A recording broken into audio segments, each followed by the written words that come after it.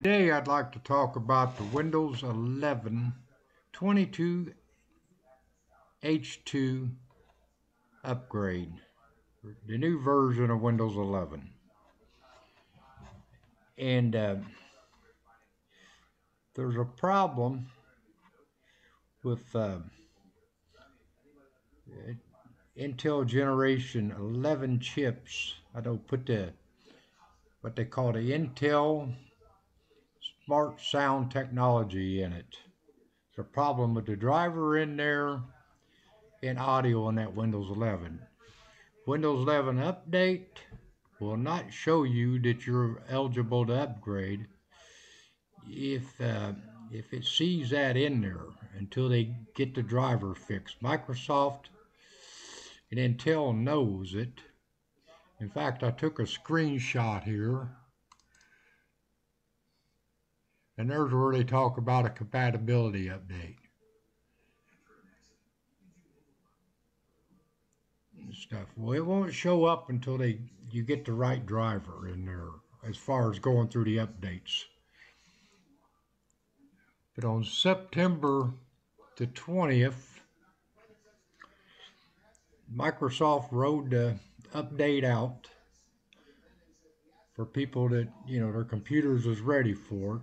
Well, on the 21st, I, you know, I, I'm a seeker, and I'd forgot about they was going to most likely release it on September the 20th.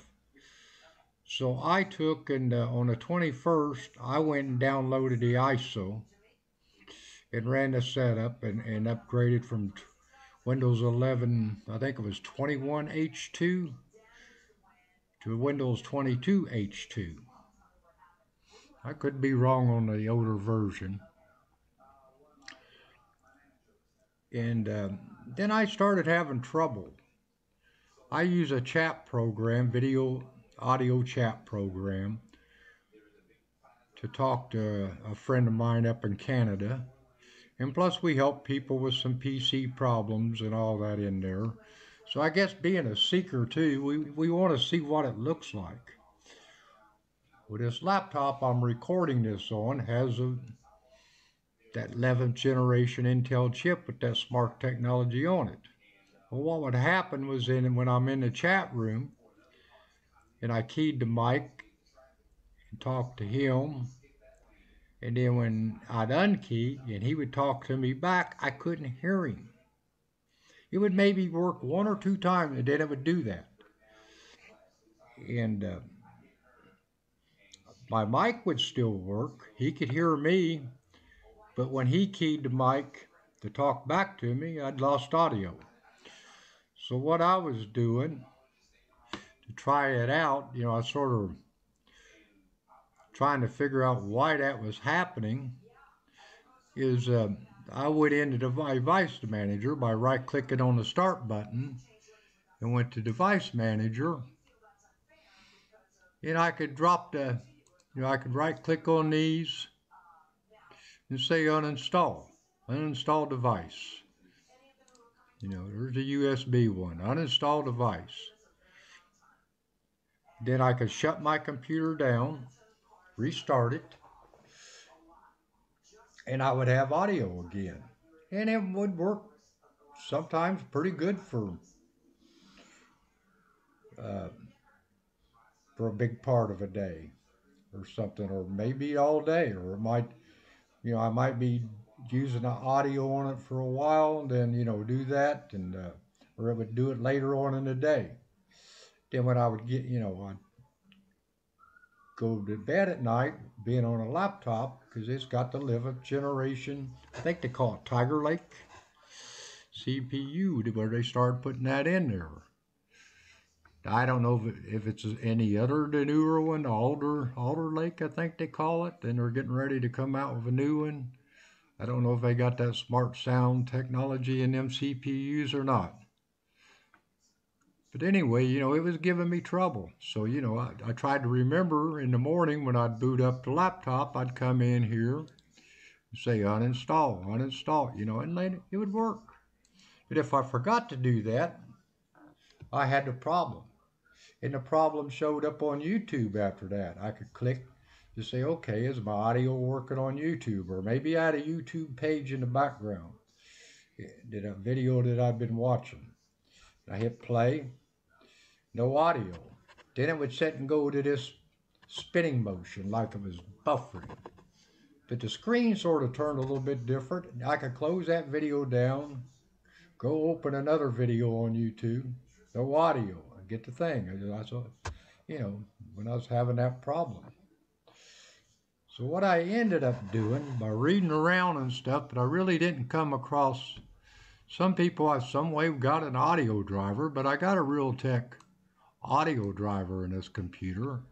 So I'm sitting there going, I don't need that. Don't want to mess with it. So, you know, I, I disabled these. I went in or and disabled. You know, if I had it enabled, it, would say disabled there. So I disabled the two things. And then, you know, I sat and I looked at my, uh, think, had me reboot or whatever. Then I took and, uh, I don't think it did on that one. But then I went in and uh, on a USB headset, it didn't have a driver or it wouldn't even show up, you know, but then I got it to show up. So what I had to end up doing on that for my workaround is I went in and right clicked on that and said update driver. You know, because some people suggested this, but that's when they would put that high definition audio in there or whatever they would do. But I would sit and go browse my computer. And then I, you know, I got this where I sort of looked and browsed because I think I tried a different couple of um, Intel Smart Technology drivers or sound technology drivers. So I said, let me pick from a list. Well, came up with this. So I did that hit next. Then it installed a Microsoft generic driver for the USB. So that had my USB headset with the microphone and the speakers on it. Hadn't been going. And I have not had that trouble with the audio. I haven't had to go in and drop anything and reboot it and let it reinstall it or anything. It's just, uh, it's my workaround. And like I said, I haven't had no trouble because there for about a week. Because I think uh, Microsoft released ISO and stuff in the update. The people's computer met it would show up in the update, but they released it, and I was a seeker. Went and downloaded on September the 21st and installed it. Then I started having that trouble. And I'm showing you my workaround, and I've not had the trouble since then. So this is just to help people out if they did that upgrade, forced it. Now they say if you can get a hold of the right driver, that within 48 hours it'll show up when you go to check your Windows update. You know, that it'll say your computer's ready for it. But like I said, I'm being a computer nut or whatever enthusiast, I had to push and see well what's new in it and stuff like that. Because my friend, he had upgraded one, but his didn't have that smart technology, so he wasn't Intel smart sound technology. so I don't know. That's uh, that's my take on this, and I just wanted to share it. If people did force to upgrade with that in there, and it wasn't showing them, and now they're having trouble with audio, because you know, like I said, some of the people was doing what I was doing, dropping them, dropping a device. You reboot, install, you'd have your sound back. But like I said, it wasn't a permanent fix. The next day, if you forgot to, when you booted up, to go in here and do that, you know, click your device manager. Sean's having another. Tell done, install, reboot and load. Yeah, you'd have your sound back and it would work for part of a day or a day. I think Sean's having another mental fit. But thank you. It's all I got for today. Oh, I'm sorry.